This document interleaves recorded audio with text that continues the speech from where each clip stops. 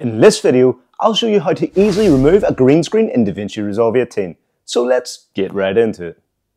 First, make sure that you're in the edit page by clicking on this icon and then go ahead and import your green screen file by pressing Command plus I if you're on a Mac or Control plus I if you're on a PC.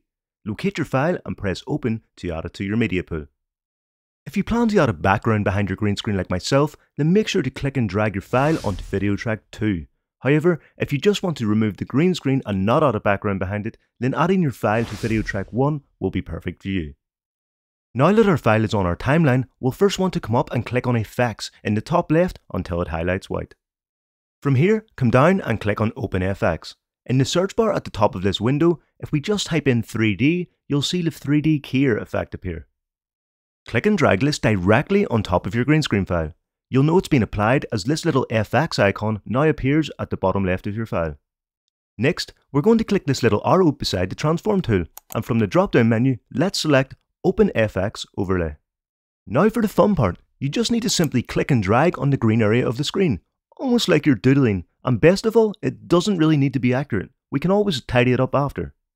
As if by magic, most of the green screen has now been removed, However, like myself, you may still see some green outlines around your subject and other unwanted grey areas, so now I'll show you how to fix these. If we come up to the top right of DaVinci, make sure to select the Effects tab and under OpenFX, you'll see the 3D keyer effect is toggled on, and this gives you a bunch of options underneath this. Luckily for us, we only need to adjust a few of these, so don't worry, it's very quick and simple to do.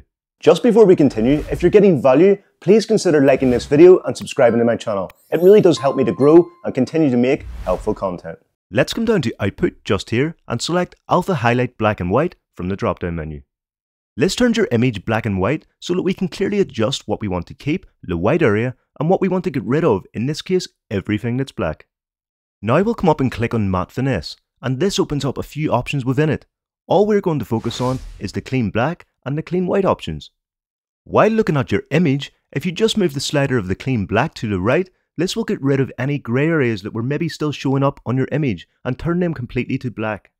Once you're happy, come down and do the same thing for the clean white option, moving the slider to the right until the grey areas don't show anymore. Make sure not to go too far low as this can make your image look too blurry and not realistic anymore, so it's best to just adjust it a slight bit at a time. If you do go a bit too far, simply click the reset icon just here and start again until you get the outcome you're happy with. Everyone's image is going to be different, so you may need to go back and forth a couple of times until it looks just right for you. To do this, come back to the output section and keep selecting between Final Composite, which shows your image in full colour again, and Alpha Highlight Black and White to make further adjustments as required. Now that we've got rid of any grey areas, if we come down to Output and select Final Composite again, you may notice that there's still a green outline around your image. To fix this, we need to use the last tool called Despill. If we come up, you'll see a section called Behavior Options. Click into this and here you'll see Despill. Simply move the slider to the right while looking at your image and the green outline should start to disappear like so. Perfect. I'm now happy with how my image looks, so next I'll quickly show you how it looks with a couple of different backgrounds behind it. As it's a hot air balloon, I'll add a couple of nice sky landscapes to complement it. You want your background to appear behind your green screened image, so therefore we need to place the background image in the layer below, which is video track 1.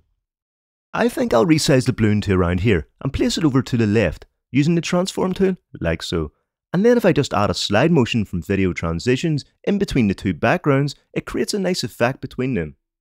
If you notice that there appears to be a faint line around the edges just here, we can also get rid of this quickly by coming back into the Matte Finesse drop-down menu within Inspector, Effects and coming down to the In-Out section. From here, move the slider to the left and as you can see, just like magic, the outline starts to disappear. Let me know below what image you removed the green screen from. Have a great day folks.